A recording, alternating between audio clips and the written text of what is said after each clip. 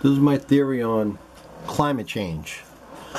If we take the matter that's in our clouds and we fill, run it through a filtration system, I've actually designed three different filtration systems. I call them cloud cleaners. And we take that basically the pollution out of them clouds.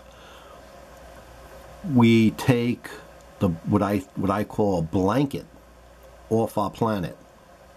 And taking that blanket off the planet, it's going to allow the climate to go back to the way it should be. Because we added all the pollution into the, into the atmosphere, uh, it's creating, like I said, that blanket. Remove the blanket, clean the clouds.